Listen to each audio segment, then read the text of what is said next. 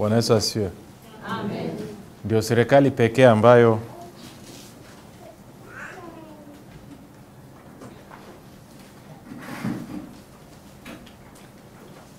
hata ukikosea utumbuliwi. Naam, mbona kama mtaki hmm? Eh, Bwana Yesu anasema kondoo mmoja akipotea naacha ngapi? tisini na tisa namfuata nani? Alafu akikupata akuchapi,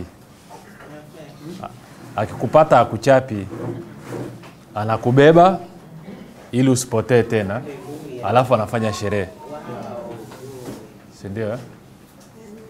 Ambayo hiyo kwa walokole ni ngumu, sindio eh? Kwa hata tuendelee kuzungumza habari ya ufalme, tuliona kwamba Bwana Yesu alikuja kwa ajili ya ku batu. Tuende kwenye Luka nne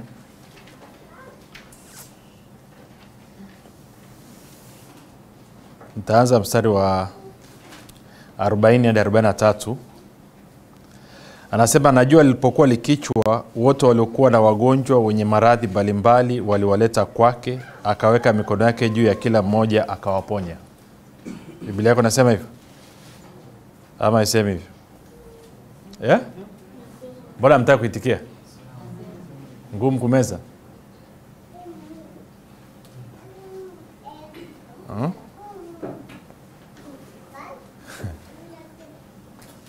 Nani amewahi kumsikia mtumishi mmoja anaitwa Smith Wigglesworth wa zamani eh? Nadhani mpaka siku ya anakufa alikufa na miaka kama 87 89. Alikuwa amefufua watu 27. Siku moja akaenda kwenye mkutano, alafu mtu akasimama akamwambia, nina swali. Akaambia, inakuwaje watu wanapona kwenye mikutano yako, lakini mtoto wako bado kiziwi?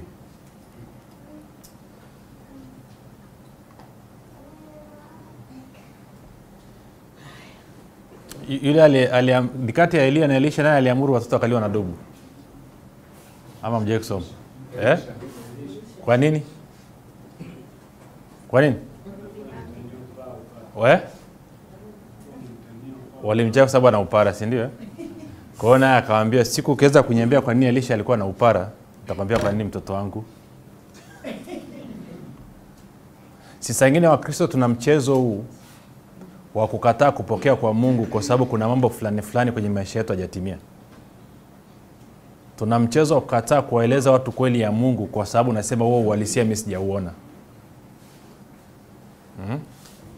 Ingekuwa ni hivyo, hatustahili kumhubiri Yesu kwa sababu nakuhakikishia zaidi ya asilimia 99.9999 hawajawahi kumwona Yesu kwa jicho hmm? wala hawajawahi kumwona Mungu. Tuko sawa? Kwa hiyo hapa anasema na jua lilipokuwa likichwa, wote waliokuwa na wagonjwa wenye maradhi mbalimbali waliwaleta kwake, akaweka mikono yake juu ya kila mmoja akawaponya. Pepo nao waliotoka watu wengi wakipiga kelele na kusema, wewe u mwana wa nani? Wa Mungu. Akawakemea asiwaache kunena, kwa sababu alimjua kuwa ndiye Kristo. Hata kulipokucha, alitoka akaenda mahali pasipokuwa na watu, makutano wakawa wakimtafuta tafuta, wakafika kwake, wakataka kumzuia asiondoke kwao. Akawaambia, imenipasa kuihubiri habari njema ya ufalme wa Mungu katika miji mingine pia, maana kwa sababu hiyo nalitumwa. Kwa Yesu Kristo anasema alitumwa kufanya nini? Eh? eh? asa nimetumwa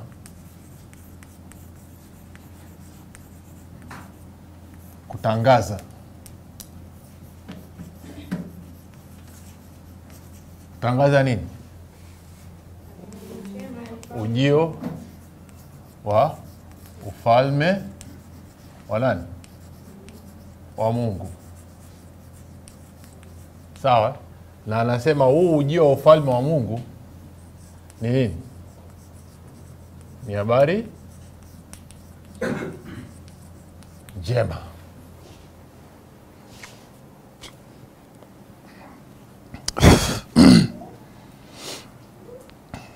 sawa. Mtu akinitafutia koka ya baridi nitashukuru sana. Moja tu.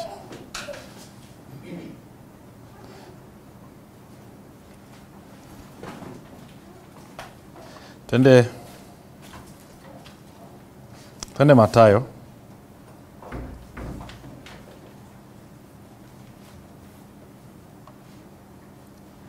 mlango wa sita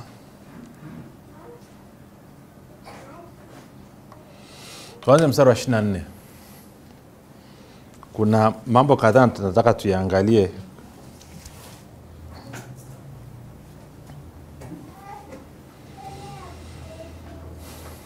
Anasema hakuna mtu awezaye kutumikia mabwana wawili kwa maana atamchukia huyu na kumpenda huyu ama atashikamana na huyu na kumdharau huyu. Hamwezi kumtumikia mungu na mali. Kwa sababu hiyo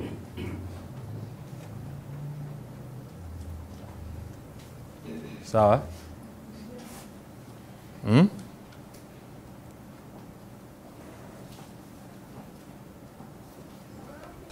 sasa namba nilete tafsiri. Tutaenda taratibu. Kuna hoja najenga. Hatuwezi nini? Eh?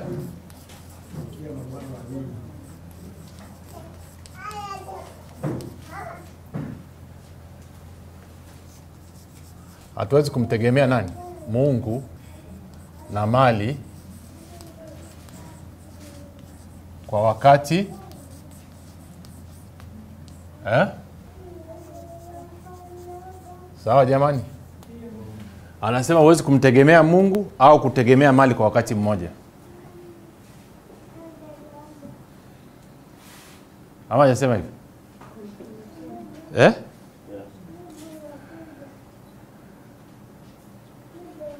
Hebu tusomele mstari wa na nne wote. Moja mbili tatu twende.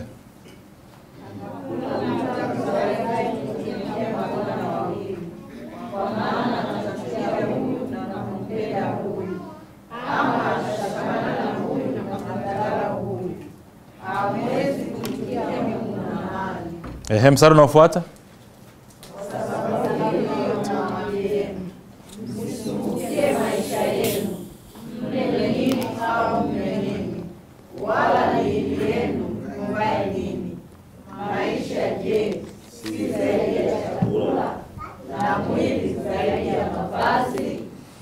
kwa hiyo anamaanisha nini anamaanisha kwamba huwezi kumtegemea mungu na mali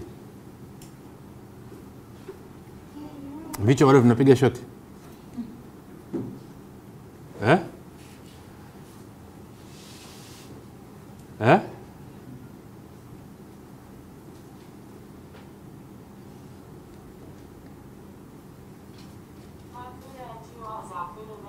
hata mi nakubali kabisa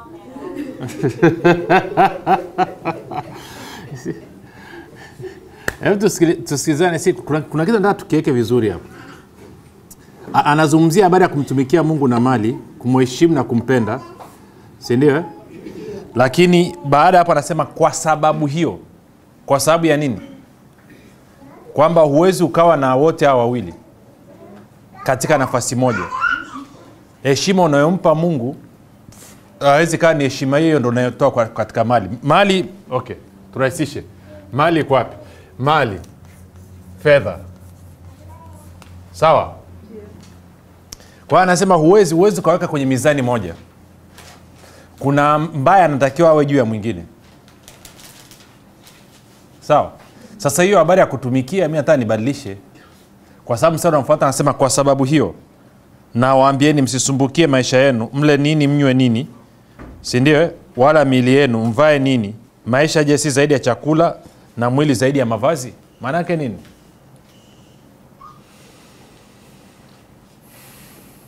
Sasa hajasema usivae, wala hajasema usile, wala hajasema usinywe, amesema usisumbuke.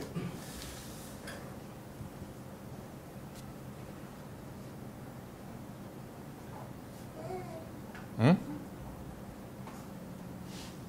Okay duniani hapa watu wanahangaika na mambo mawili tu. Kitu gani na kitu gani? Uzima na nini? Na utajiri. Basi ndo kinachowasumbua ndo kinachoamsha watu asubuhi kinafanya watu wako barabarani. Eh? anayetembea amekaa ama anayetembea amesimama ama anayetembea anakunja magoti haijalishi. Eh? okay. Tajielewa tu muda sio mrefu kwa hiyo bwana yesu anasema huwezi ukamtegemea mungu na mali kwa wakati mmoja. Lazima ufanye maamuzi unamtegemea nani? Na hii ni ishu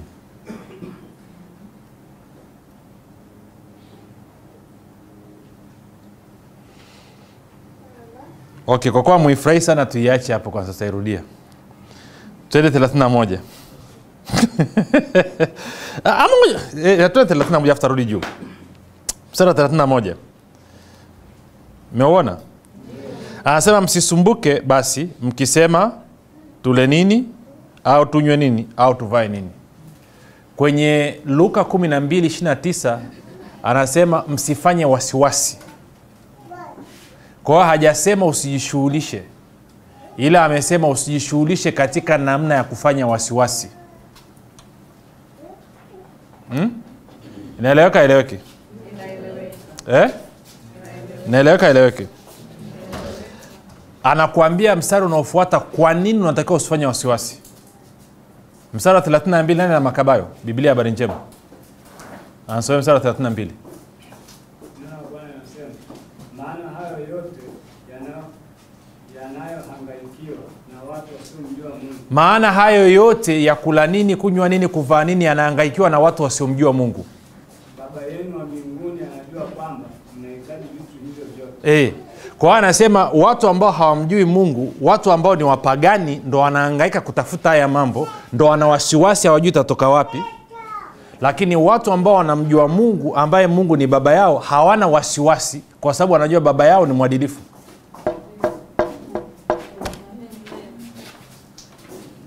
Hmm? sasa nisaidie kitu. Muulize jirani yako ukiangalia maisha yako unamjua mungu ama umjui mungu?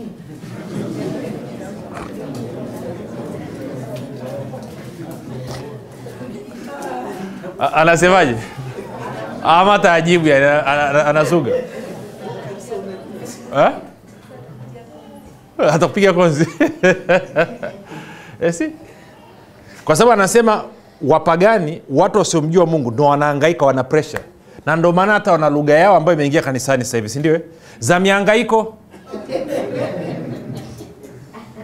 mbona najikausha kama vile amjui sindio sindio eh, nzuri manake nini? Unaangaika kwa nini unaangaika kwa sababu hamjui nani?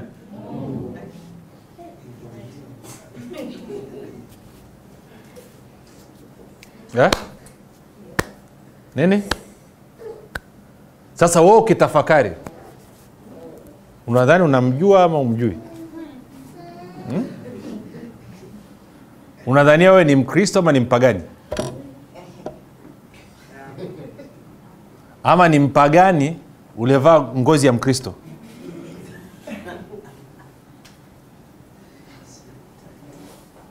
Kwa hiyo anasema usifanye wasiwasi. Hajasema usijishughulishe anasema usifanye wasiwasi. Kuna tofauti kubwa sana miaka mingi iliyopita nikamsikia jamaa mmoja kwenye tv cnn anaitwa tom, tom, tom, to, eh? tom Ole, olemelu sio olemelu? Wakati huo obama amekuja kutembelea obama alikujaga tanzania?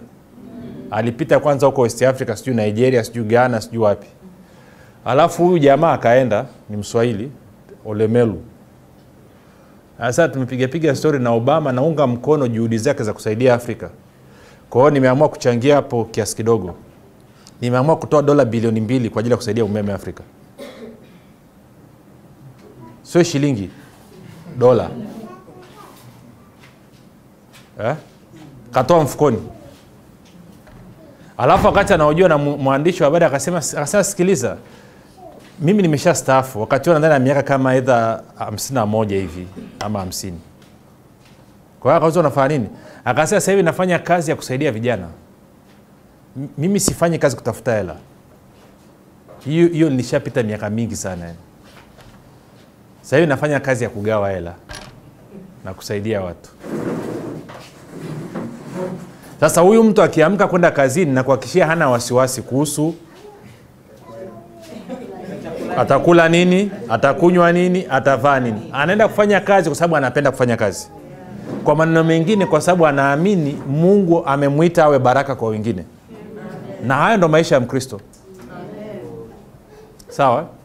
Na of course huyu bwana nilimpenda kwa sababu anatushinda wote. Anaamka saa tisa alfajiri anaanza kufanya ushirika na bwana. Saa kumi na moja ameshaingia ofisini. Oke tuendelee. Watu wamekaa kimya mna sawa. Tuko tuko tuko kwa kwa hiyo anasema watu ambao hawamjui mungu ambao tunaita wapagani ndio wanaohangaika. Na anasema kitu kizuri anasema baba yenu anajua kuwa ninyi mnahitaji hayo yote. Yaani kwa maneno mengine habari ya mahitaji yako sio breaking news kwa mungu. Anasema anajua. Kuna wengine amwamini kama mungu anajua ishu zenu na ndio maana ikifika kwenye mahitaji yenu na, najua of course hapa mpo labda wako kule nje. Ikifika kwenye mahitaji yenu especially hata wakati unataka kuomba ama ukikumbuka ishu zako unakasirika. Ka- kanyongo kanakaa hapa. Ha? Hebu muulize mwenzio vipi? Alisha clear hapa. Kuna kaasira kananyonga yani kama kama hajui vile yani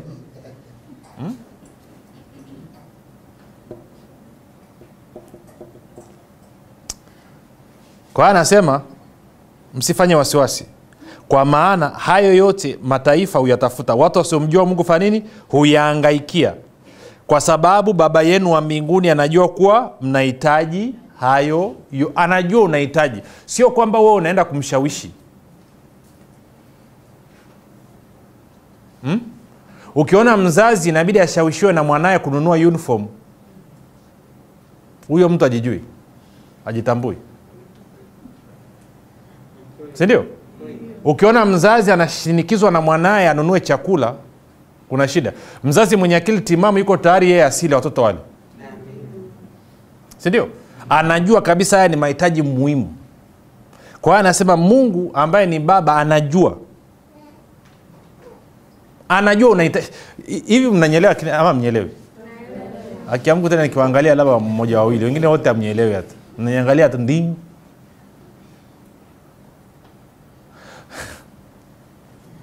eh? nini?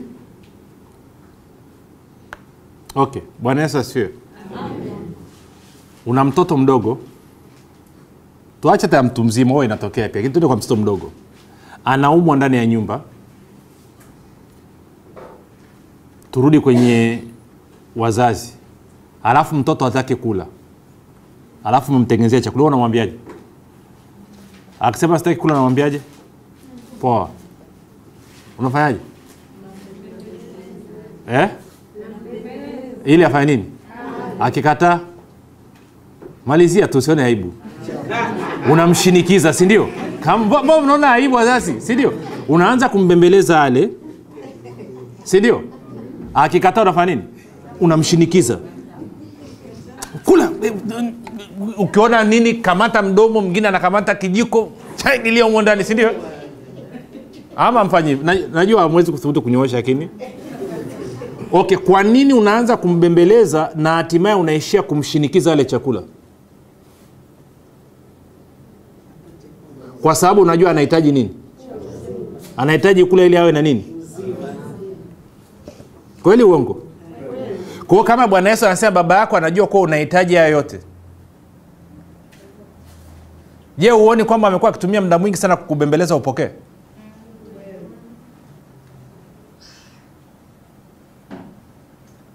na wengine karibu mtaanza kushinikizwa ili mpokee.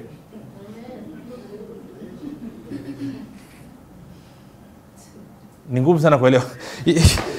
Naona jinsi mlivyokuwa yani.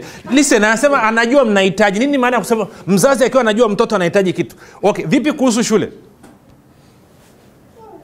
Sindio unampeleka mtoto wapi? Akikataa? Eh? Na- naomba nikiwa shule ya msingi kuna jamaa mmoja alikuwa tunasoma naye anaitwa majidi. Majidi alikuwa apendi shule. Kwa hiyo akitoka nyumbani kwa shuleni kwetu kuna, kuna korongo. Kwa hiyo anaenda kaa korongoni. Wengine wanajua mkuyu. Anakaa anakula makuyu kama kima. Kwa, siku moja babake anajua mwenyewe alivyofanya. Babake akaenda akasakanya akamkamata kwenye mapori. Mzee ana fimbo ndefu. Wale waliokaa Monduli wanajua kuna fimbo inaitwa njipi njipi, ile ya kimasai. Akamleta sitakaa nisahau hiyo siku. Tuko darasani na mwalimu amesimama mlango ukafunguliwa wap! Kilichofuatia tunaona majidi anaingia kama anapaa alafu na fimbo mgongoni wa! Kaa darasani. Na utoroke tena uone. Majidi amekungutwa shati imechanika yuko hoi. Ambia mwalimu unashangaa nini? Akae darasani usimwachie akatoka alafu mzee akaondoka. Kwani alimfanyia majidi namna hiyo kwa sababu anajua majidi anahitaji nini? Of course mzee akushinikiza vya kutosha. Tulikuja kuwa mkubwa nikaja nikasikia miaka michache iliyopita huko monduli huko. Amekuwa jambazi ni hatari alafu anakaa na majoka ndani. Ukienda kumtafuta nza akaachilia kobra wawili wa kukimbiza singine akaachilia chatu.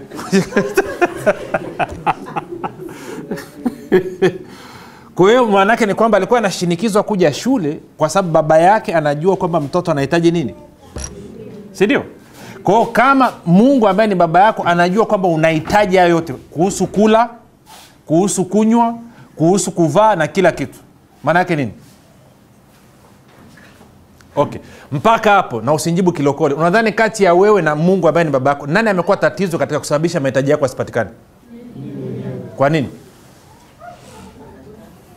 Eh?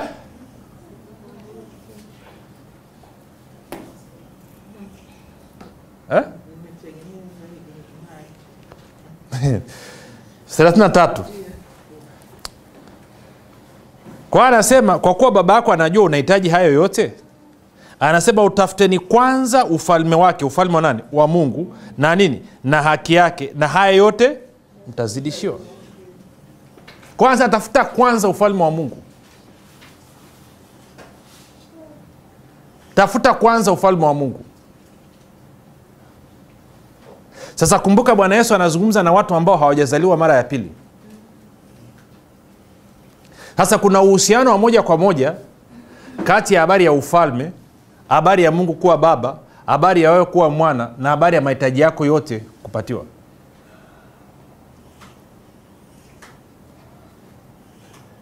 Ha? kwa nini yesu anawambia tafuteni ufalme wa mungu kwanza? Maana anasema hayo mambo kusukula kunywa kuvaa. Bwana yesu asifiwe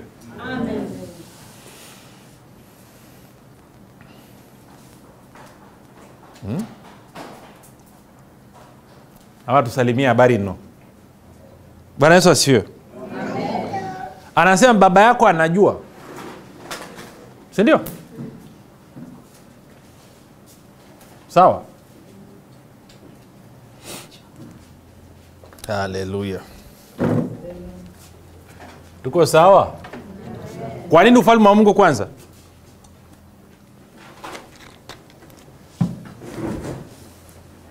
ngoja tuandike hapa sawa. Yani iweke huku. Baba ambaye ni nani? Eh? anafanya nini? Anajua si ndio? kuwa nini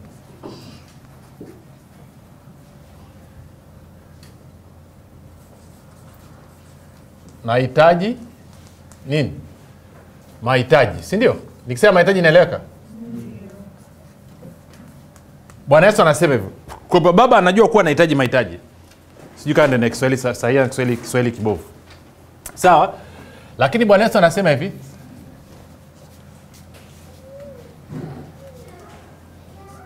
Tafuteni kwanza nini ufalme. Kisha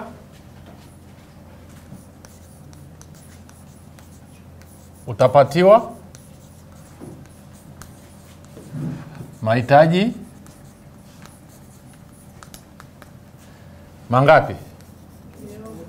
Yako yote. Sawa? Sawa jamani? Ama si sawa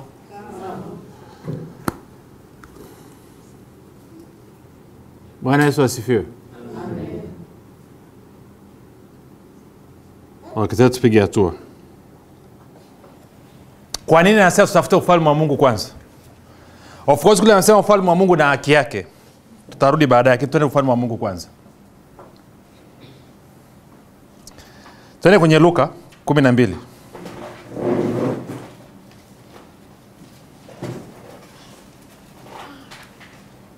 tuanze mstari wa 29 tena anasema ninyi msitafute mtakavyokula wala mtakavyokunywa wala msifanye nini? Wasi wasi sawa? Ama si sawa? Anasema kwa maana hayo yote ndio watafutayo mataifa duniani ama wapagani wanatafuta hayo Ya- yaani ukishaona unalala kichwa kinakuuma kwamba utakula nini utavaa nini utakunywa nini? Eh?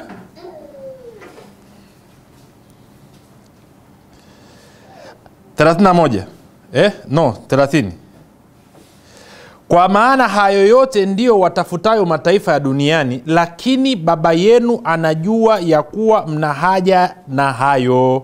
Si ndio kwa maneno mengine anafahamu kwamba wewe mahitaji hayo ni muhimu kwako. Huhitaji kumsomesha. 31 bali utafuteni ufalme wa mungu na hayo yote hayo mtafanya nini? Mtaongeze yatakuja kama nini? Ziada. Si ndio eh?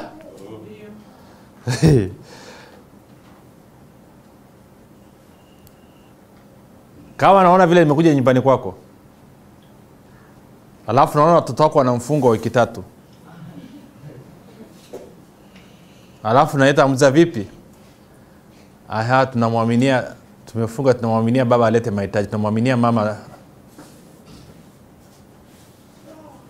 Swali la kwanza inaona nyie ampewi chai ampewi chakula mpaka mmefunga? Ndio. Nguo mavazi mpaka tumefunga na kuomba sana. Ndio. Mtasemaje hiyo familia mtasemaje kusio familia? Eh? nikaa kuna familia nyingine baba na mama waongei wanapeana vimemo. Inaandikwa kuchu kuchu kuchu kuchu inawekwa mezani. Mzee anaamka asubuhi anapita anachukua anasoma. Anaingia kwenye wallet anaweka. Alafu anaandika hapo chini. Jioni nataka ugali mchicha. Alafu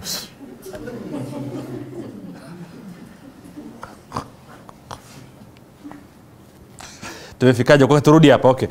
Kwa hiyo anasema 31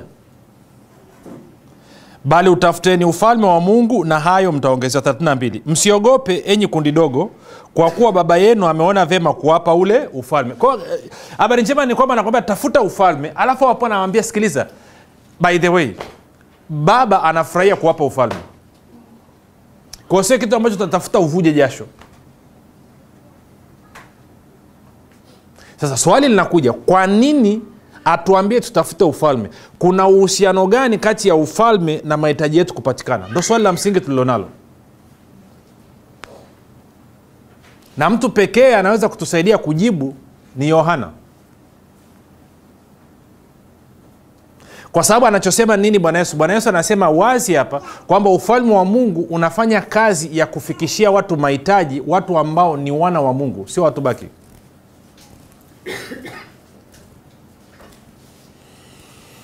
na okay yohana mlango wa tatu mstari wa kwanza. Basi palikuwa na mtu mmoja wa mafarisayo jina lake nikodemo mkuu wa wayahudi. Huyo alimjia usiku akamwambia rabi twajua ya kuwa uu mwalimu umetoka kwa mungu kwa maana hakuna mtu awezaye kuzifanya ishara hizi uzifanyazo wewe isipokuwa mungu yu pamoja naye. Yesu akajibu akamwambia amin amin nakuambia mtu asipozaliwa mara ya ngapi? Ya pili. Hawezi kuuona nini? Ufalme wa mungu. Nikodemo akamwambia awezaje mtu kuzaliwa akiwa mzee? Aweza kuingia tumboni mwa mamaye mara ya pili akazaliwa? Yesu akajibu amin amin nakuambia mtu asipozaliwa kwa maji na kwa roho hawezi kuingia ufalme wa mungu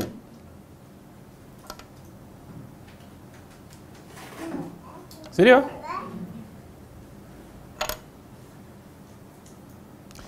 kwa maneno mengine bwana yesu alikuwa anawaambia mitume tafuteni ufalme wa mungu. Alikuwa anawaambia nini? Hakikisheni mmezaliwa mara ya ngapi? Kwa sababu huwezi ukaingia ndani ya ufalme wa mungu pasipo kuzaliwa mara ya na ukizaliwa mara ya pili mungu anakuwa ndani yako. Eh? Eh? Majibu kwa nani kwa wasiwasi.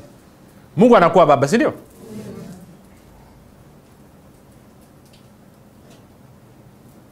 ama? Umewahi kutafakari maana yake nini? Kwamba mungu ni baba yako. Na baadhi yao hajasema baba wa kambo. Na wala debate hapa. Kati ya baba wa kambo na mama wa kambo naye ana roho mbaya. Of course tunajua mama okay, tuendelee.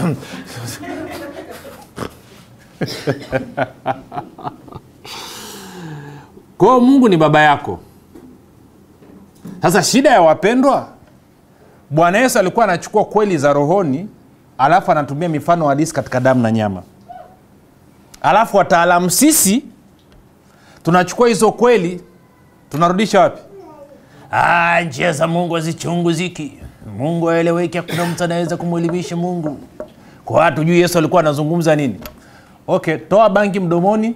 Yesu alikuwa anazungumza baba manake baba. Okay, sieleweke Da, ntaanzaje bwana yesu asifiwe. Biblia inasema wazi ukisoma warumi mlango wa kwanza una haja ya kwenda ukasoma kumbu, nini? Waibrania mlango wa nane. Anasema vitu vyote unavyoviona katika damu na nyama ni kimvuli ya uhalisia ulioko katika roho. Kwa hiyo tunavyozungumza mungu kama baba maanaake ni kwamba yani unavyozungumzia baba wa duniani baba nambari moja ni nani?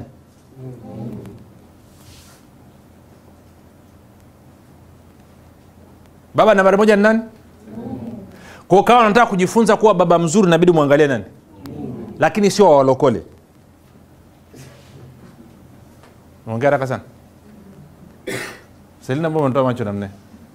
nasema ukitaka kujifunza mungu kuwa ni baba ukitaka kujifunza kuwa baba mzuri inabidi umwangalie nani? Mungu lakini usimwangalie mungu wa walokole. Mungu wa walokole ni mtesaji. Hatunzi watu wake. Mwangalie mungu na baba wa bwana wetu yesu kristo. Mungu wa walokole mwache huko kwa walokole I mean, mungu ambaye asikii mpaka watu wafunge usiku arobaini? Mtu anaomba ada tu. Baba gani huyu? Watu hawataki tena. Eh? yaani mungu huyo huyo anasema ajipatiae mme amepata nini mke amepata kitu kilicho? Alafu nikitaka mme ama mke inabidi nifunge tena. Oh, nio ni shida sasa watu wataki tena. Ni- nini jamani? Nadhani ama nyie mna mungu namna gani?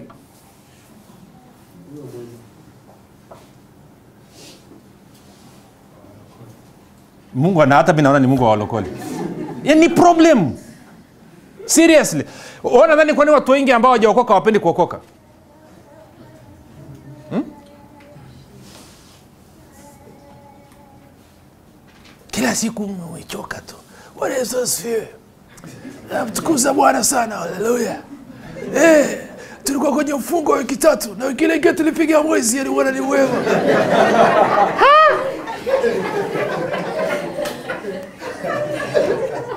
Yaani kila siku huyu mtu amechoka yani.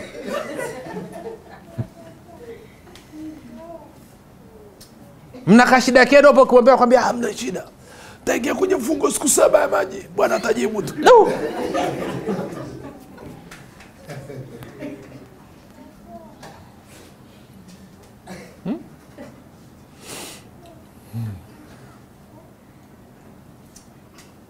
bwana yesu asifiwe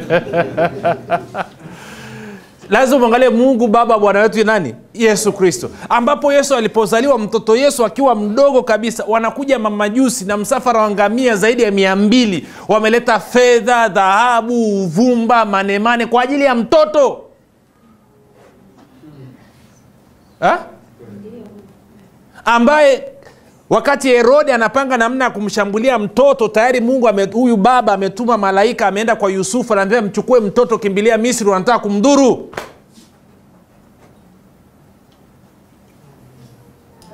Ama amsomi bibilia alikuwa ni, ni baba ambaye anajituma kila siku kwenye maisha ya watoto wake. Yuko hatua moja mbele. Je ndo baba ulio naye wapi? Eh? ni, ni, ni shida. Tusipobadilisha namna tunavyofikiri tukaanza kumwangalia mungu ambaye ni baba wa bwana wetu yesu kristo tutaendelea kupata shida tu. Mungu ambaye ukimwomba akusikii mpaka ubadilishe sauti. Baba yetu wa mbinguni tunalitukuza jina lako tunakubali. Yaani usipobadilisha sauti akusikii eh? ukihubiri ukifundisha sasa ubadilisha sauti. Usipobadilisha pia naye message haiendi. Katika jina la yesu tunakemea mapepo yote. Tunateremsha radi na mvua. Tunapasua na kupasua miamba. Rikakarabakusikiti korowasho ikakakakaka Bi- bila hivyo watu wakusikii jamani wangapi wanaona saa ingine tumeingia kwenye okovu afu tumeshindwa kuuelewa tumekuwa waigizaji. Tumekuwa wasanii. Eh? mbona kama mtaki tumechapika tukikutana wapendwa kwa wapendwa tunamlalamikia kuhusu baba yetu tunamsema mbaya kabisa. Yaani hmm. tukikutana na watu wapagani tunadai ah, mungu wetu ni mwema. Haleluya tunamshangilia bwana unakutana na mpendo unajaribu kumwelewesha atoke kwenye maisha magumu hataki ndo anaanza kufundisha. Ukimwangalia amechoka ana wiki tatu ajafua nguo.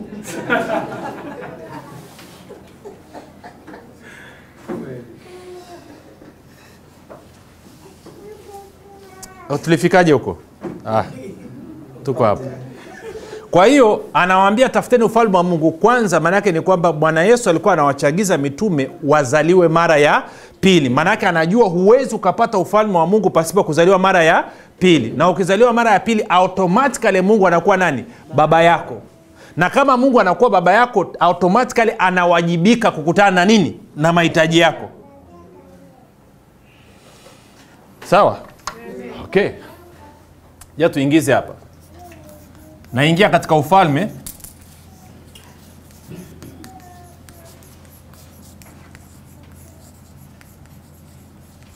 Kwa kufanya nini?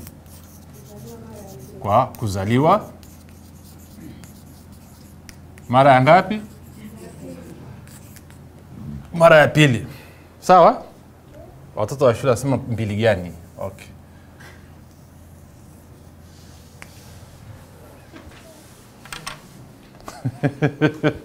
sawa? Kwa hiyo ndo maana alikuwa anajua sasa tafuteni kwanza ufalme wa mungu. Maanake anajua kwamba wakiamua kufukuzia ufalme wa mungu watakutana na ukweli kwamba huwezi ukaingia ufalme wa mungu. Huwezi ukaupata ufalme wa mungu mpaka umezaliwa mara ya pili. Na ukizaliwa mara ya pili automatikali mungu anakuwa nani? Mungu anakuwa baba yako. Na mungu akiwa baba yako inaleta mabadiliko makubwa kabisa. Dynamics zote zinabadilika. Sawa? Leo nitafanya somo fupi kuliko yote. Alafu tunaenda nyumbani tuna dakika kumi.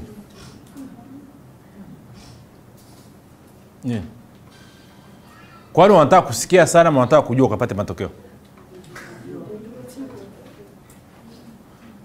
Yeah? Hmm? hao wengine tumefanya jumapili sehemu ya mtoko bwana yesu asifiwe. Tuendelee. Okay. Unatakiwa uzaliwe mara ya? Mungu anakuwa nani? Baba. Okay twende hapa. Mungu akiwa baba kwangu.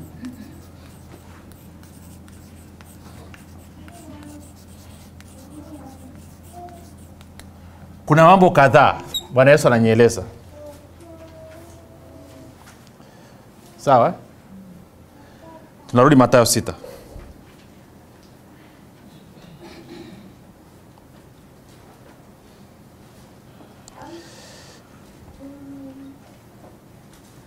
tunaanza mstari wa saba mpaka wa nane. Anasema nanyi mkiwa katika kusali msipayuke payuke kama watu wasiomjua mungu. Biblia yako anasema hivi? Watu wa mataifa. Ama isema hivi. Maana wao udhani ya kuwa watasikia kwa sababu ya maneno yao kuwa mengi. Sindio eh? wanaesasiwe aikiagai eh. najua kinachonichekesha?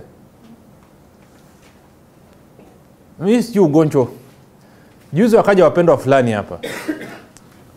Wa, wa kwenye kwenye redio. Kwao wanaongea. Wan- wanataka kupita sijui wafanye promotion ya wateja wao na nini na nini na nini. kwao wakaniuliza kwani una, una, una vyombo vya pa system vyombo hivyo vya nini hivyo nikaambia sina. Ungaona walivyotoa uso wake. nikawambia kipaumbele changu ni neno liende sio vyombo.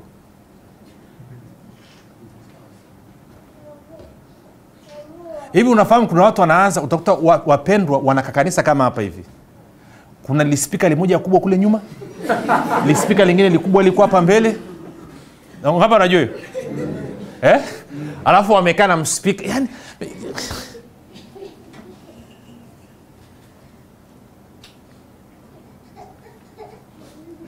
kwa nini wanapenda hivyo? Ili wawapate? Na bwana yesu anasemaje? Msipayuke.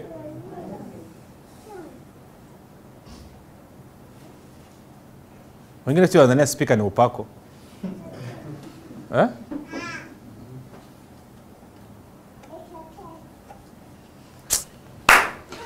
tuendelee nane. Anasema basi msifanane na hao. Mwambie mwenzio usifanane na hao. Mwambie namaanisha usifanane na wapayukaji.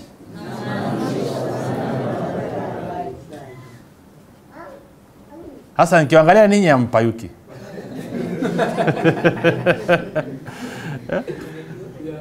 ili mtaenda kuongea ongeza kuja soma mstari wa nane. Anasema basi msifanane na hao maana baba yenu anajua mnayoyahitaji kabla ninyi hamjaomba.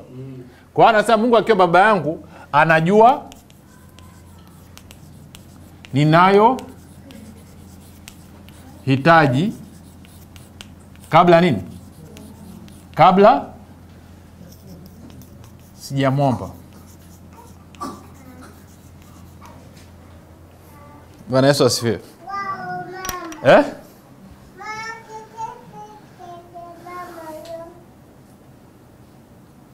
unajua saa ingine mungu anaweza akafanya vitu mpaka ukacheka yani alafu kuona ni very simple lakini eh? jana tumekwenda na mose mahali tunatafuta spare gari tumeenda sehemu unajua kule ilala kwenye ma, ma, ma, ma spare used kule njiani tunawaza sema tukifika kule naambia moses sio tukapigwa hizi. maana ni ugenini hujui hamna mtu ambaye tunaenda kumwona maalum yani tunakwenda tu. Tukaenda tukafika nikaambia kwa wapi moja sana kwa kule mbele. Alafu kafika pale mbele kaambia pale kwa hoja jamaa hapo pale kwa hoja jamaa tukapaki.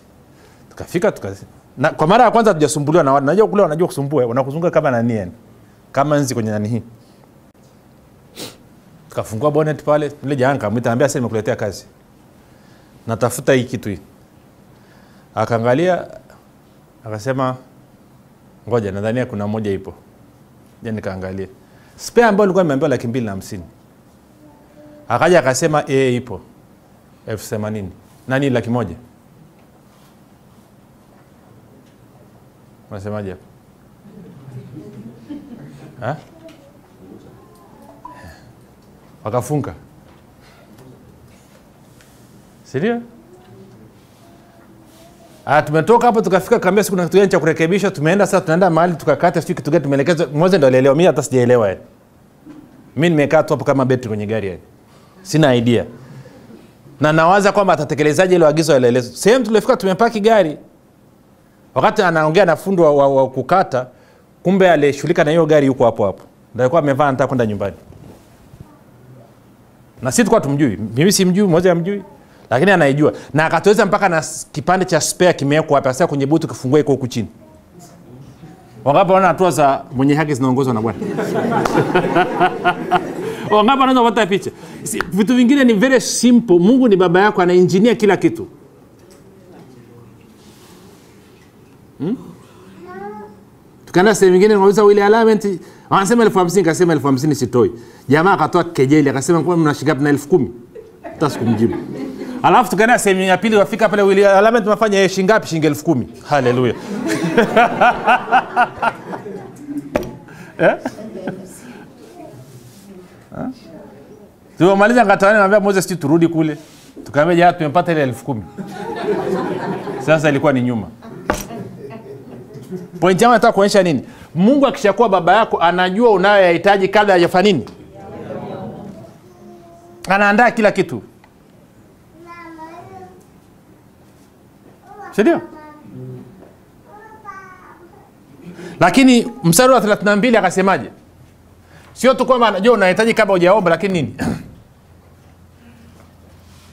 Eh? mathayo 32 anajua kuwa unahitaji moja niongezee lugha yangu hapa. Kupata mahitaji yako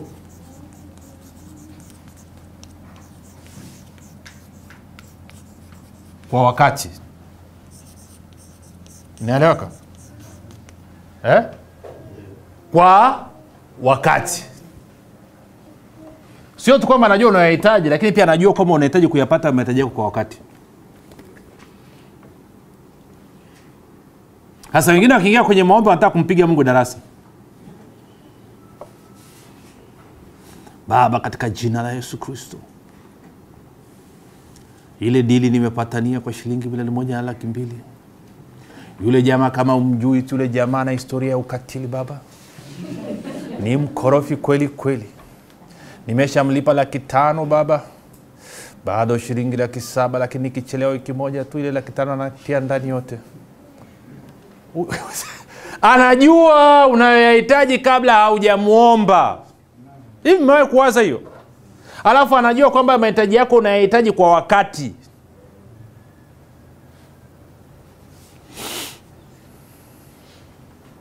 We mtizamo wako ukoje? Hmm?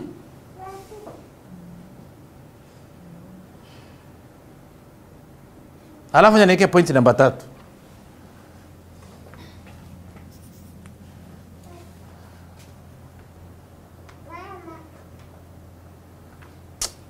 kiswahili kigumu nacho. Yanaje andika tu anafurahia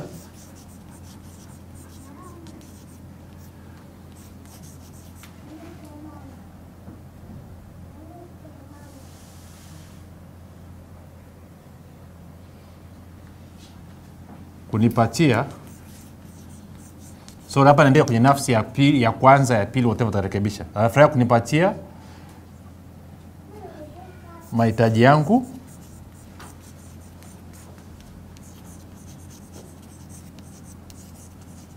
yote. It gives him pleasure ana enjoy.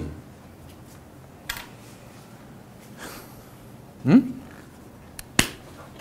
bwana yesu asiwe pa kuna kazi leo.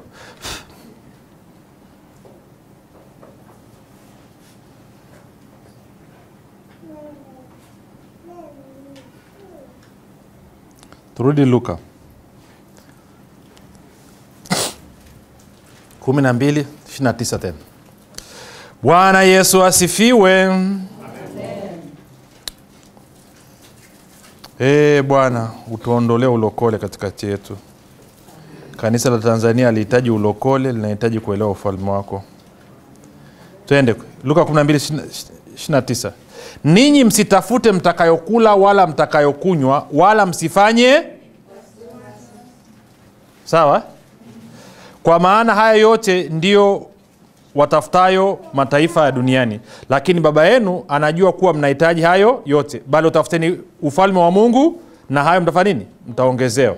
32 Msiogope enyi kundi dogo, kwa kuwa Baba yenu ana, ameona vema kuwapa ule ufalme. Sasa sikiliza kitu hichi, anasema kwa Kiingereza anasema it is your father's good pleasure to give you the kingdom, kwamba baba yenu in, inampa furaha. Yani, yani mungu anapokutana na mahitaji yako mungu anapokupatia anapokupatia kile unachokihitaji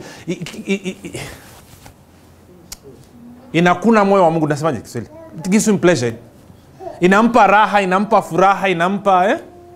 nsaidieni lugha wazunye wa. It gives him pleasure.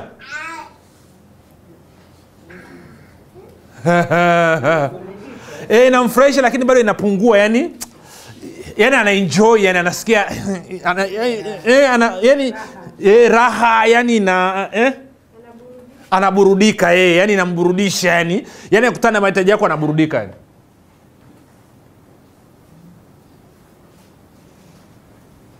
mbona eh? vipi eh?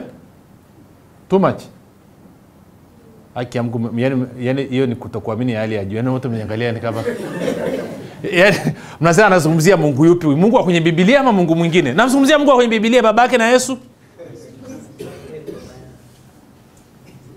Anaenjoy anaburudika. Shinata niawelezeje okay. Te taratibu. Anasema tafuteni kwanza ufalme wa mungu. Alafu anafuata anasema na hayo yote mtazidishiwa mahitaji yenu. Alafu mstari unafuata anasema msiogope yenye kundi dogo. Baba yenu anaburudika kuwapa nini? Ufalme. Kwa kama anaona raha kukupa ufalme na amesema ukipata ufalme haya mambo yako mengine yote utazidishiwa ikwali unaweza ukaondoa ufalme alafu kasema nini? Anaburudika kukutana na nini? Na mahitaji yako. Eh? Ibada ijaingia bwana yesu asifiwe. Okay tene taratibu. Tene taratibu. Wangapi wanajua bwana yesu alisema hata sasa hamjaomba lolote kwa jina langu ombeni nanyi mta hapana mtapokea. Kiswahili wameandika uongo sio mtapewa. Ask and you shall receive. Sio mtapewa. Wachana natoa macho nini? Usomaki biblia ya kiingereza? Si kiswahili wameandika mtapokea si mtapewa. Mtapewa ni uongo itakiwa mtapokea. Kwa sababu ishu nzima ya ukristo ni maisha ya kupokea. Kwa hiyo anasema nanyi mtapokea ili furaha yenu iwe timilifu. Maana yake nini? Unapopokea kile ambacho umemwomba baba wakati huo unafurahi yeye anaburudika. Si huo usipopokea maana yake nini? Usipopokea si useme vile unavyokuaga usipopokea unanuna. Na ukinuna yeye anafanya nini? Unajua shida mungu ni mzazi jamani. Okay bwana yesu asifiwe. Nani amewahi kuingia kwenye nyumba ama una, una mtu mnakaa naye ama rafiki alafu ukuta amenuna? Alafu unapita mara kwanza unakausha kama ujaona si ndio? Alafu unarudi unamsemesha tena. Alafu jemba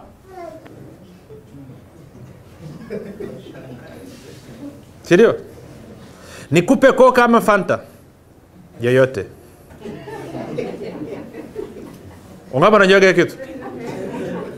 Ya baridi ya moto? Yoyote ama tutoke? Sawa. Ama tukae tuangalie nani tv sawa. Unamuulizaje? Kuna shida gani? Sawa. Kwa nini? Kwa nini unamuuliza ni kwa sababu ile hali yake ya kupooza ya kununa ya kuhuzunika uitaki unataka awe na nini?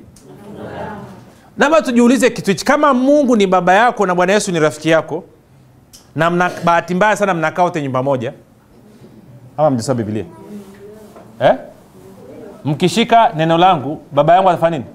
Atawapenda na mimi nitafanya nini? Nasi takuja na kufanya makao wapi? Kwa hiyo maanaake ni kwamba kwenye hiyo nyumba mnakaa wangapi wewe yesu na nani? Na baba. Kwa hiyo muda mwingi wewe hali yako ikoje napofika kwenye mahitaji yako? Una furaha umenuna? Je kama wewe mtu unaekaa naye akinuna unaanza kujitahidi ili afurahi? Vipi kuhusu wao? Hmm? vipi kuhusu wao? Mnaniacha hapa nataka tuconnect hapa E, maanake anasema baba yako anaburudika it gives him pleasure. Bwana yesu anasema ukipokea furaha yako inakuwa timilifu. Si mungu anataka kukutana na mahitaji yako. Anasema anaenjoi anaburudika Kuku- si ngoja nikwambie yaani wewe usipopata kile unachokihitaji inamsumbua inamdistabu inam, inamnyima raha kabisa yani. Yaani siku hata wakina gabrieli wanakaa chonjo. Sieleweke eh? Nikawa si wakati tunakuwa yani baba yetu tunakuwa alikuwa akivaa unajua kabisa hiyo siku mnakaa mbali. Kwa na kaunda suti zake kama mbili vya kivaa hizo mnajua du!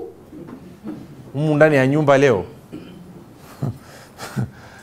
Kwao na yeye mahitaji yako mahitaji yako ukishindwa kupokea inamuhuzunisha. Kwa hiyo anafanya juu chini ili kuhakikisha kwamba umepokea kile ambacho nakihitaji kwa sababu gani? Okay wengine naona tuelewani lugha. Ngoja niipozi hapa twende hivi. Twende isaa 65 24 isaya 65 24 mtu aisomee isaya 65:24 nasema nini? Chap chap chap chap. Hmm? na tano na itakuwa ya kwamba kabla hamjaomba nitajibu. Ehe. na wakiwa katika kunena nitasikia. Anasema kabla hawajaomba ntafanya nini? Wakiwa katika kusema? Maana yake nini maana yake ni kwamba kwa kuwa anajua unayohitaji kabla haujaomba alikwisha kuandaa majibu yako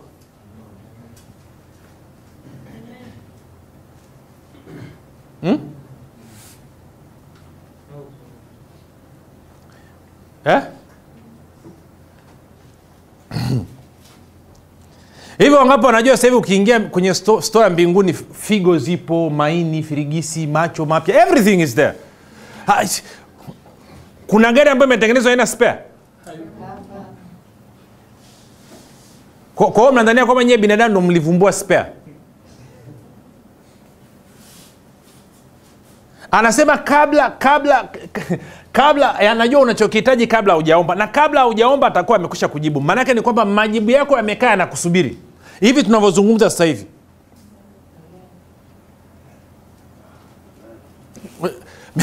miaka mingi iliyopita kuna bwana mmoja anaitwa samir tulikuwa tunaomba naye. Jioni kaa saa moja na nusu. Eh, ilikuwa elfu mbili na kumi na moja. Eh, eh, mahitaji alafu ghafla samiri akamatwa katika roho bup. Alafu akaingizwa kwenye godown. Alafu anasema nikamwona bwana yesu amesema juu ya maboksi yuko juu. Alafu bwana yesu akaambia samiri mwambie huruma vitu vyote hivi ni vya kwake.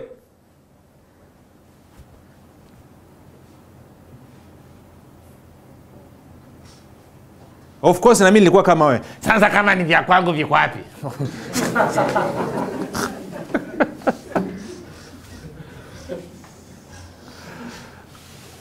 Maanake ni kwamba ungeingia kwenye store ya mbinguni sasa hivi kuna kila kitu kina lebo kuna oda ya kwako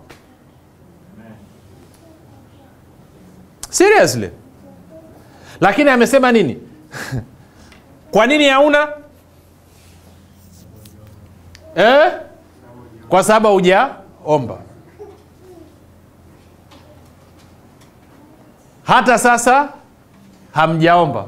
Ombeni nanyi mtafanya nini? Mtapokea furaha yenu iwe nini?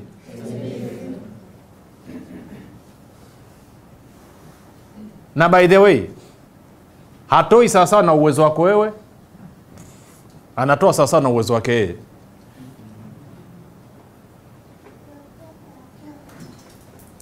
Okay naona watu wamelegea hapa. Bwana yesu asifie hebu tusikilizane.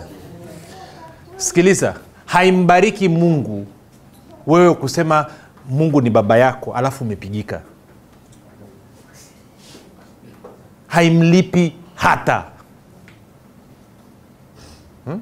Ni sana sana um, um, um, unatoka alafu una watoto wamekaa wamevaa kaptula kitako kiko nje kuna kiraka kimechomoka kamasi liko mpaka hapa ingine kuna nzi wanakaa ku... unaulizwa hao ni watoto wako? Unasema wepi? Hao hapo wepi hao? Si. Haimlipi. Kama wewe mzazi wa duniani mtoto wako akiwa ovyo akiwa rafu inakusumbua. Vipi kuhusu mungu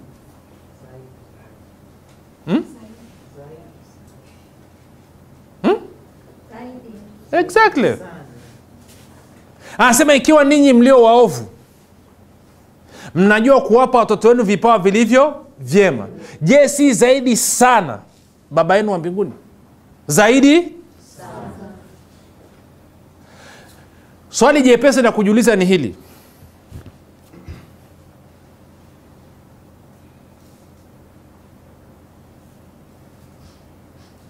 Chukulia unataka kitu kwa mungu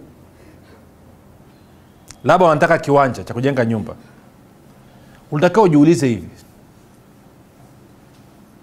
Ingekuwa ni mwanangu ndiye anataka kiwanja cha kujenga na ninao uwezo wa kumpa. Ningempa? Ungempa usingempa? Basi bwana yesu anasema zaidi sana. Kwamba mungu nini? Ana usongo wa kukupa zaidi. Kwao kama naenda kumwomba kuhusu kiwanja natakiwa. Hapa ndo tunapoachana yani, yani natafuta connection hapa imekataa yani. Si niwembishe pambio. Naona moto mmeniacha ni mmeenda mnazurura. Na msipoona hichi nachojaribu kuwaonyesha mtaendelea kusota kwenye maombi yenu mpaka. Ndio maana wengine ikifika wakati wa kwenda kuingia kwenye maombi mnaogopa. Mkiambiwa maombi ya amani ya taifa hapa mnatokeza hivi uwanjani. Mkiambiwa ombi la kuaminia kitu kitokee kesho hata mmoja aji kwa sababu mnaogopa nini? Kutokujibiwa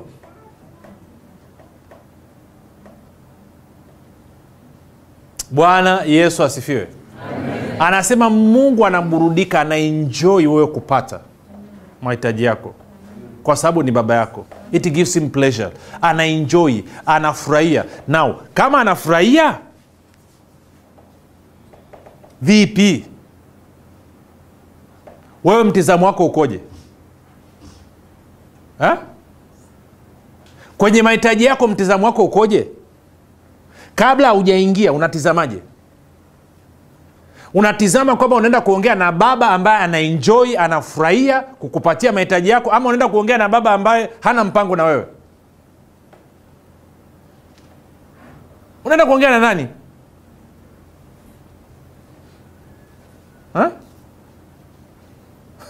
Kuwa nampendaga waedepo alivyokuwa akifanya anavaa kasuti kake 3 piece. Yake anasema napiga 3 piece vizuri nachukua na kalamu na karatasi naandika mahitaji yangu. Alafu naenda nakaa mbele za bwana yesu. Na nasema bwana yesu sijawai kusikia bibi harusi ametoka enda kutafuta mahitaji. E, kanisa si mke wa kristo? Yeah, e, kwanza sijawai kusikia. Kwao mahitaji yangu haya hapa. Na sasa siku zote amekuwa akija. Saturudi turudi kwenye levo ya baba imagine umerudi nyumbani kwako. Una mtoto wa miaka mitano. Unamkuta amekaa sebleni. Ana mawazo hujawahi kuona. Nauliza vipi?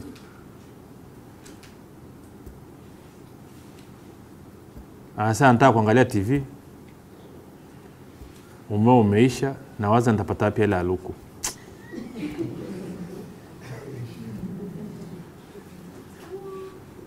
Alafu isitoshe jumatatu nafungua shule. Uniform na ada sijui. Hmm. kwa hiyo anasema niache kidogo na tafakari ana miaka mitano unafanyaje? Kama wewe ni baba mzuri unafanyaje? Namwita mama yake si ndio? naambia huyu mtoto wako ana nini? Okay. wanaume ajikausha sindio huyu akifanya vizuri ni mtoto wangu akifanya vibaya huu mtoto wako ana nini? Umemlisha nini huu mwanao? Maanake sio nafasi yake kuwaza hela ya umeme kuwaza hela ya mavazi. Kwa kama mungu ni baba yako na anajua yote unayohitaji okay wengine labda wanyeelewi. Kwanini anasema usipeuke payuke? Umeona jinsi bwana yesu anavyozungumzia kuhusu mahitaji yako? Anasema nanyi msiwe kama hao kwa maana baba yenu wa mbinguni anajua mnahitaji kabla mja mwomba basi mkisali salini hivi. Baba yetu uliye wapi? Mbinguni. Jina lako lifanini litukuzwe. Ufalme wako uje. Mapenzi yako yatimizwe wapi? Hapa duniani. Kama ilivyo wapi? Alafu nini? Tupatie riziki zetu. Alafu unasonga mbele. Amemaliza okay mmepotea. Eh? tupatie riziki zetu. Unajua maanake ni kama vile mtoto alikuwa anacheza nje alafu anarudi anasema mama mama mama nasikia njaa naomba maziwa. Ama mama nataka maziwa. Maanaake nini? Haki yake. Sindio eh? kwaona na bwana yesu anakwambia hapa ikifika kwenye mahitaji yako mwambie nini? Tupa riziki zetu leo. Basi umemaliza. Wewe unafanyaje baba katika jina la yesu kristo hiyo gauni ya kijani hapo ni kwa ajili ya kitchen party ya wiki ijayo. Hiyo suruali ya bluu hapo ni kwa ajili ya maandamano. Hiyo anajua unayoyahitaji kabla haujamwomba unajua maana yake?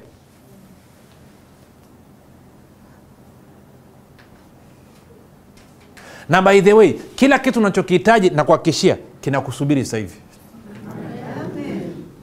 sikiliza mungu abadiliki kama uokovu wako ulipatikana miaka elfu mbili iliyopita ukawa unakusubiri yaani uokovu wako ulikuwa tayari kabla wa hujazaliwa.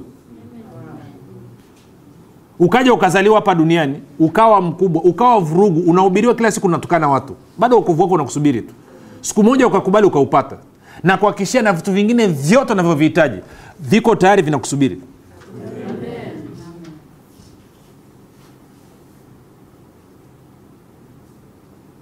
Naona- jinsi navyopiga mwamba. Nirudie tena. Kwa nini inakuwa ngumu jamani? Kwa nini mnaona ngumu vichwani? Try it siku moja. Kwa nini unaenda kumwomba? Kwa sababu amesema hivyo. Kwa sababu maombi ni wewe kutumia mamlaka yako kumruhusu mungu ambaye ni roho kuingia katika damu na nyama. Kwa sababu mwenye mamlaka katika damu na nyama ni nani? Wewe hapo anasema kabla hawajaomba nitakuwa nimekwisha. Wakiwa katika kusema nitafanya nini? Ntasikia maanaake nini? Sinenda kasome danieli tisa na kumi. Gabrieli anamwambia danieli hivi e danieli mtu upendewa sana na mungu. Mwanzo wa maombi yako maneno yako yalisikiwa mbinguni. Amri ikatolewa nami nimekuja duniani kwa sababu ya maneno yako. Kwao mungu anataka kusikia je unaweka oda kuhusu kile ambacho amekuandalia ama uweki oda ndomana bwana anasema kila aombaye hupokea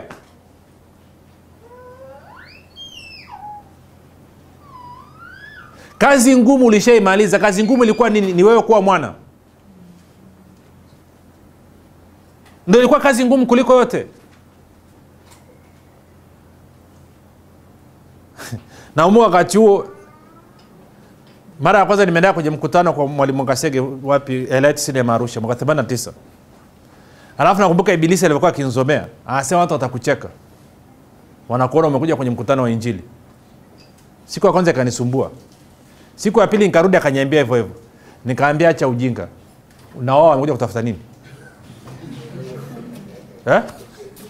yaani kwa nini ionekane mimi ni kituko kuja kwenye semina alafu kwa wale wengine sio kituko? Nikaambia kaa ni aibu ni aibu kwa nani? Kwa wote. Kwa hiyo nachokwambia mahitaji yako yanakusubiri. Naona watu si, yaani message imeenda flat leo nimeshindwa kuconnect. Yani naona kabisa jinsi ambavyo nimeshindwa kuconnect yani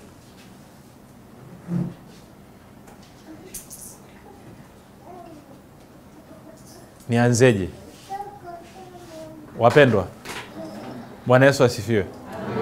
Niwashawishi vipi kwamba mungu anaenjoi ma, ma, mahitaji yako anajua anajua unahitaji. Nakosa hata namna ya kuongea?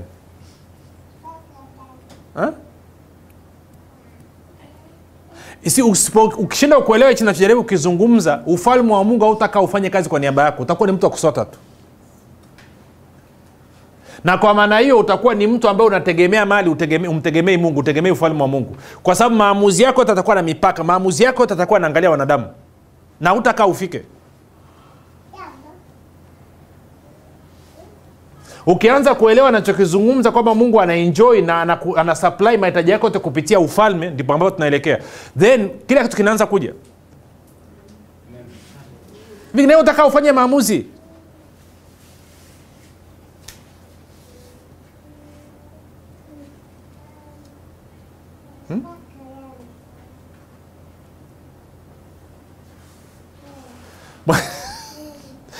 E, kweli nimegonga mwamba yani nasia sasa ni flat yani kitu flat yani. Niwaambieje sasa? Niwasaidieje? Eh?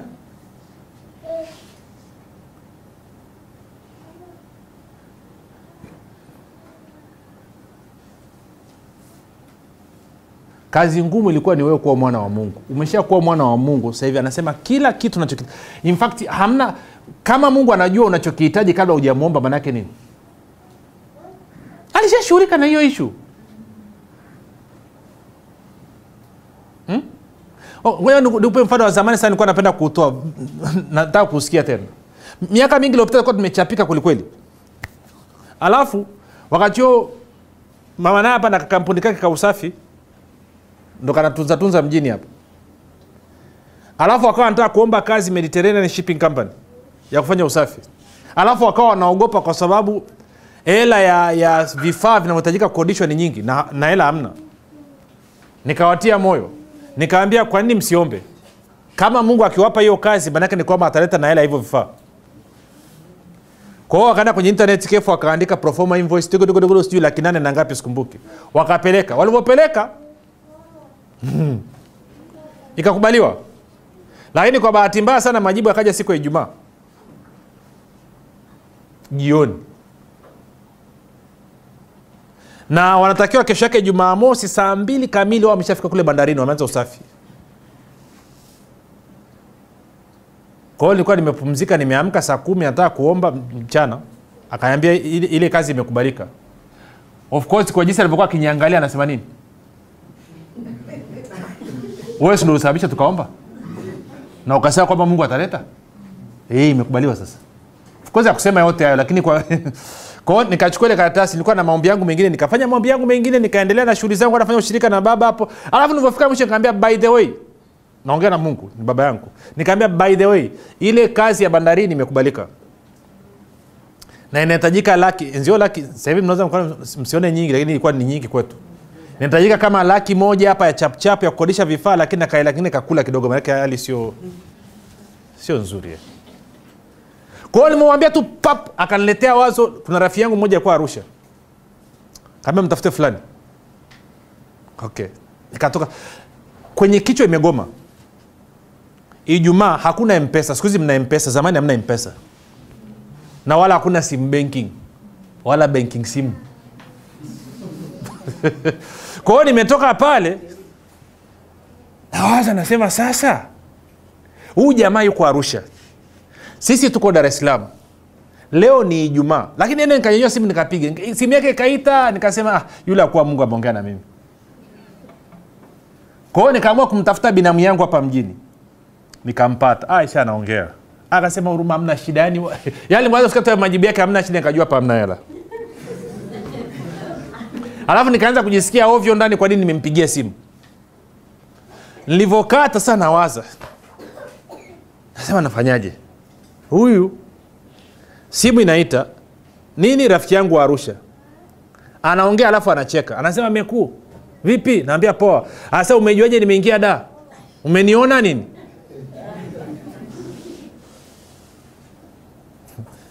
Anaambia natuma gari sahivi hivi je kuchukua. Kwa akatuma gari kaja kanichukua tukaenda tukatoka kwa of course tukaenda huko na hela zake. Nikaambia sasa kabla ujaanza kuchezea labda natuongee Najua- natuma mtu mzima yani wewe umeenda kuomba jembe alafu unaanza kupiga stori atakuja mwingine odi odi jembe linaondoka. Yani kwa hiyo nkamvuta chembe kaambia tumalizane kabisa. Akaambia amna shida meku dola mia iko hapa hii hapa. Kamata. Okay kwa hiyo kesho tukaanza mambo yetu akaenda vizuri. Kazi ikafanyika na nini? Jioni nimemaliza akanichukua tukaenda kempiski pale tumekaa tunapigapiga story. Akaniambia akaambia nikwambia kitu huruma. Sijui hata kwa nini nimekuja da nikaambia kwani uliamwaje? Kumbuka ameingia ijumaa akasema aliamisi usiku saa saba usiku akiwa ba ndo alifanya maamuzi anakuja nani da. Kesho yake akapanda ndege akaja da. Na sasa nimekuja mpaka sasa hivi tunavyozungumza sijui kwa nini nimekuja da. Ndani nimekaa course. Sasa nachotaka ukione ni kitu hichi kwamba mungu alijua kwamba ile kazi itapatikana kuna hela ambayo itahitajika. Akawa ameshaandaa majibu kabla mimi sijajua kwamba kazi imepatikana na kwamba ile inahitajika. Kwa hiyo by time naenda kumwambia majibu tayari ameshafika town yananisubiri.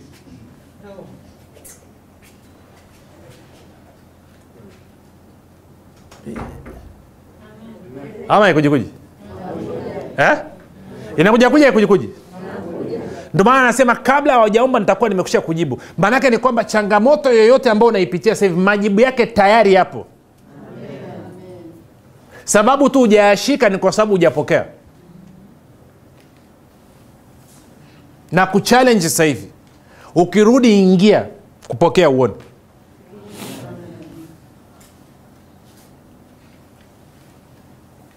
Hmm? okay. Moja nikupe mfano wa mwisho mwaka 211 nikaamua nakwenda nakwenda south africa kwenye semina alafu nikatoka nikaenda arusha kwenye maombi mlimani kwa sakila. Nilivyoshuka nikapita kwa dada yangu tunaongea. Alafu nauli ya, ya, ya ndege wakati kuna ndege sijui kitu gani. Kuna ndege moja ilikuwa wanashirikiana na british airways. Kwao tiketi ilikuwa ni chip dola mia nne kwenda na kurudi kwa hiyo nimeshuka na nyusa bado unaenda safari ya South- africa. Nikamwambia yeye naenda. Hey, vipi? Nikamwambia nikirudi dar es salaam ndo utajua mambo yamekaje. Tukapiga piga story hapo. Akaambia hebu ngoja. Akaleta ki, ki, ki nini ki, ki, kineta nini kwa kela. kisefu ki, cash box, kuna cash box vya zamani ki, ah, vilikuwa vinafunguka kabisa vya zamani sana vinakaa dukani unaweza kuweka koini ukaweka no, no, no, vi- vi- visefu vidogo. Sijui vinaitwa nini. Kwa akakileta hicho kisefu nilimpaga mimi mwaka 91 kwenye duka lake. Akaambia unakikumbuka hichi? Nikaambia eh. "Ah, nilikuwa nafanya fanya usafi huko ndani. Kwa hiyo nimepekua sasa nimefungua nimeangalia huko chini hebu angalia. Angalia chini anasema kuna dola 400 sasa nikuta dola 400 chukua basi ikuchekee kwenye safari yako ya South Africa. Na nauli ya ndege ni ngapi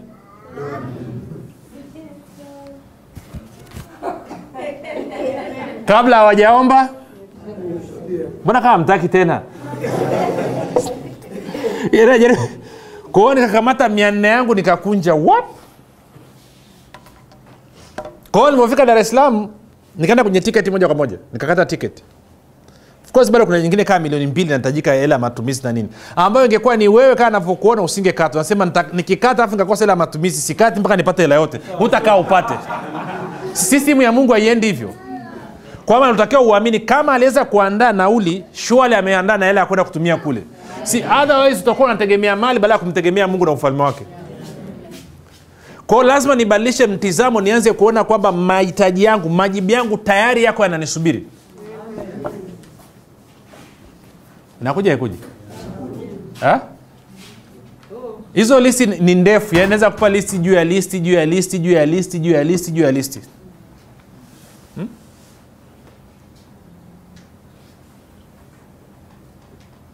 Inakuja? Eh? iwe ni kwenye biashara iwe kwenye nini. Chochote unachokihitaji majibu yako yanakusubiri. Lakini lazima ubadilishe mtizamo kwamba baba yako anajua kwamba nini? Unayohitaji kabla ujafaa nini? Au jamwomba na tena anajua kwamba unahitaji hicho kitu kwa nini? Kwa wakati. Sindio eh? sawa? Na anafurahia anaburudika kunipatia. Sasa ndio na mtizamo huo. Na nikishamwambia ufalme wa mungu unaingia kazini kuhakikisha kwamba hivyo vitu vinakuja. Ufalme wa mungu unatengenezwa na nani? Yesu ndio mfalme roho mtakatifu waziri mkuu alafu na malaika wakina gabrieli raia alafu na wanajeshi wakina mikaeli. Kwao itafanyika juu chini mpaka kile unachokihitaji uweze kukipata mkononi.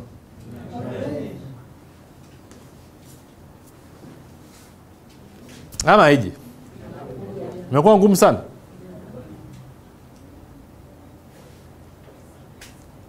Na wala uhitaji complicate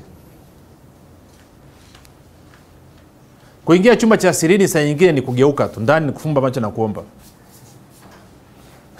Najua wengine wanadhania sijui wanadhania vipi. Moja nikwambie kitu.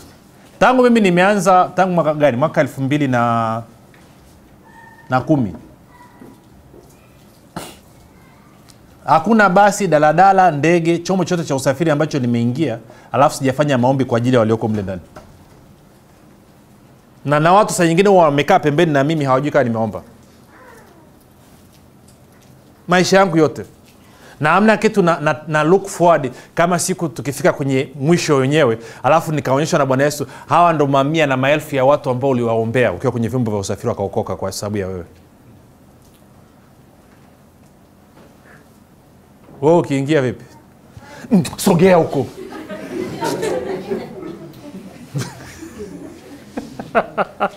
Eh? Kwa hiyo kufanya nachotaka kuonyesha ni kufanya maombi sio lazima mpaka kila mtu ajue. Baba yako aonaye sirini. Hmm?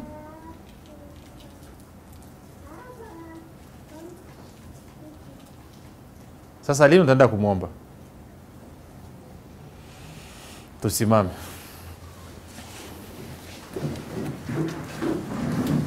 Hatua nzuri ya mabadiliko siku zote inaanza kwa kutubu.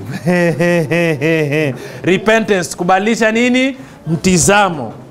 Na kubadilisha mtizamo kwa kweli ni pamoja na wewe kumweleza. Kwamba jinsi nilivyokuwa na kuwazia sio. Asante kwa maana majibu yangu yote. Maanaake nini? Ufalme wa mungu huo tayari kufanya kazi kwa niaba yako. Huna unalolitaka wewe ambalo ufalme wa mungu hawezi kuhudumia. By the way kila kitu unachokiona hapa duniani kilitengenezwa kwa ajili yako wewe. Kila kitu. Ndio maana anavyoongea na israel anasema nazishuhudiza mbingu na nchi kuwa mashahidi. Nimeweka uzima na baraka mauti na laana. Chagua nini? Uzima. Maanaake ni kwamba mbingu na nchi zinatakiwa zishiriki. Kila kitu kilichoo katika hii dunia kishiriki kufanikisha kwenye maamuzi yako. Ukichagua mauti na laana wanatakiwa kufanikishe mpaka vifanikiwe ukichagua uzima na baraka inatakiwa mbingu na nchi zikufanikishe mpaka ufanikiwe. Wewe unachagua nini? Kwa hatua ya kwanza ni kubadilisha mtizamo. Kwa nataka kwa kinywa chako mwenyewe kwa dakika moja mwambie mungu nimechemsha nilikuwa nakuazia vibaya. Nilikuwa nakuona ni kama askari korokoroni umekaa una roho mbaya kazi yako ni kuzuia. Yaani umekaa hapo mlangoni hivi umefunga na funguo umetupa baharini yani. Unasema achukui mtu kitu hapo kwa hiyo ambaye anabadilisha mtizamo leo hii nimejua kwamba wewe ni baba unayenipenda unajua mahitaji yangu yote kabla sija kuomba tena unafurahia kukutana na mahitaji yangu na unaletea mahitaji yangu kwa wakati. Kwa hiyo nabadilisha mtizamo na kupokea kama baba unayejali. Twende moja mbili tatu twende. Baba,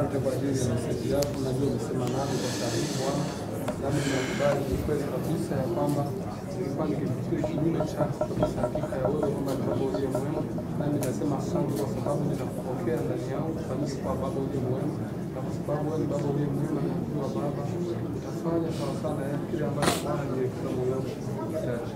Ninapokea kutoka kwako Bwana, kwa kuwa wewe unipa amani na furaha na uzima kutoka kwako. Asante kwa yale yote na yale mahitaji yangu yote ninapokea kutoka kwako. Ni katika jina lako Yesu. Ninaomba. amen E- hebu tuketi malizia na point. Hebu tuelewane kitu kimoja. Nachotaka uondoke nacho lewe ni kitu hichi.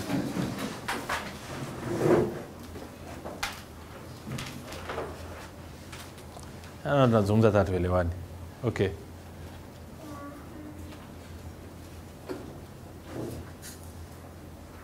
Ukienda ukasoma wafalme wa pili mlango wa sita kuna stori pale inamuhusu elisha ambapo wakatumwa askari kwenda kumkamata elisha. Mtumishi wa elisha alivyotoka nje akakuta wamezungukwa na askari wa maadui askari wa shamu ama mfalme wa shamu.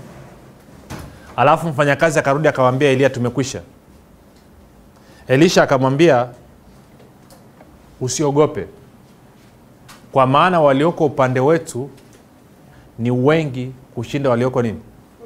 Upande wao. Maana yake nini? Alafu akasema bwana naomba umfungue macho. Akaona mlima umezungukwa na jeshi la malaika. Kwa hiyo alikuwa anasema nini? Anasema malaika walioko upande wetu sisi ni wengi kuliko mapepo yaliyoko upande wa maadui zetu sasa naomba unasikize vizuri. Kati ya utumbo ambao unatembea kwenye kanisa na especially makanisa yanayojiita ya kiroho watu wameaminishwa kwamba mapepo ambayo yamesimama kinyume na watu wa mungu ni mengi mno kuliko malaika ambao wanafanya kazi kwa niaba ya mungu. Okay sieleweke nisikilize hata ninyi mliokaa hapo kwenye akili zenu unconsciously sijui kiswali chake ni nini mnaona ndani mwenu kwamba ibilisi yuko active yuko bize mno na mapepo yake kuhakikisha kwamba wewe haufanikiwi kuliko ambavyo mungu na malaika zake yuko active kuhakikisha kwamba unafanikiwa yaani mnaona kwenye akili zenu kwamba ibilisi na mapepo yake ni mwadilifu mno katika kukufanya ufeli kuliko mungu na malaika kuwa waadilifu katika kufanikisha wewe. Na kama mtizamo wako unaona kwamba upande wa pili unatenda kazi zaidi kuliko upande wa mungu wewe uko kwenye kutokuamini. Ndio maana wengi ikishafika kwenye habari ya mahitaji yenu kitu cha kwanza mnachowaza mnawaza namna ya kumshawishi mungu unaendaje kumshawishi mungu ambaye anapenda anaburudika kukutana na mahitaji yako? Ukishawaza tu kwenda kumshawishi maanaake umeingia kwenye kutokuamini na hivyo utakaa upate. Ndo kitu ambacho najaribu kudili nacho hapa. Na ndo maana maombi yenu hayajajaa shukrani. Si ningekuwa ninajua kwamba mungu iko upande wangu. Kwenye hili jambo mungu anataka mii nilipate kuliko ambavyo mi nataka kupata then ninge relax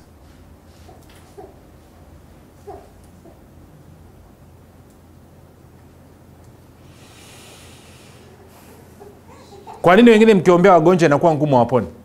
Kwa sababu najaribu kumshawishi mungu. Wazo la uponyaji ni la nani? La mchungaji wako? La nani? La nani? Kati ya mungu na wewe naye anatakiwa kushawishiwa kuhusu uponyaji. Lakini nini ukienda kuombea wagonjwa nataka kumshawishi mungu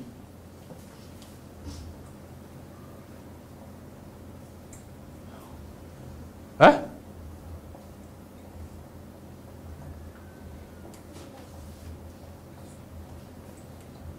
aliyetia baraka ya abraham kwenye Biblia ni nani baraka ya bwana inafanya nini kwa mungu anataka uwe nani kwa nini unataka kumshawishi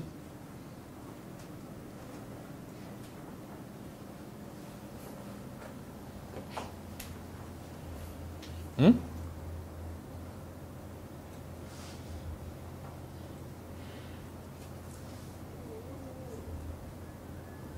Stori ya mpendo mmoja lagos nigeria. Mtoto wa mkulima kachapika anaenda kwenye chuo ambacho ni best kuliko vyote na pale uingii bila rushwa. Lakini yeye ameokoka. Na hata angetaka kutoa rushwa hiyo laana. Kwa hiyo akapiga maombi yake. Mungu akawambia mimi shauku yangu na kiu yangu ni wewe uingie kwenye kile chuo akaambia kwa hiyo nifanye nini? Akaambia kesho nenda kajiandikishe. Kwa hiyo kesho yake amefika kwenye chuo amesimama sasa anaangalia aelekea upande gani ikasimama gari. Ilivyosimama gari akashuka mzee mmoja ni kati ya matajiri top top nigeria. Kaja na kijana wake kuja kumwandikisha katika chuo. Alafu akamuuliza akaambia bwana mdogo unafahamu ofisi ya udahili ilipo? Akasema ndio nafahamu akasema twende tupeleke. Kwa wakati anakwenda na mzee akaa namoja ehe unaitwa nani? Naitwa fulani? Ehe umesoma nini? Ehe wakapigapiga stori kwao wakafika mpaka pale. Kaingia kwa kwa registrar afisa udaili. Ah, mzee mheshimiwa mheshimiwa mheshimiwa eh, karibu sana naomba kuja na vijana wangu bwana kijana wangu fulani na kijana wangu fulani mshamjua yule jina. Kwa hiyo nimeleta kwa ajili ya udaili lakini na haraka sana. Uh, kwa hiyo nawaacha mikononi mwako. Akaondoka kwa akasema leteni vyeti huyu kijana mpendwa akapatiwa nafasi siku ile ile. Mtoto yule tajiri akaingizwa kwenye kusubiria.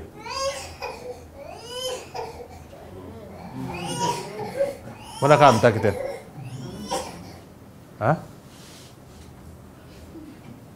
Mjanisikia? Mtoto wa tajiri akaingizwa kwenye waiting list kwamba sasa hivi nafasi haina shida kitu kushughulikia lakini yule kapurwa yule hapo hapo straight. Full scholarship.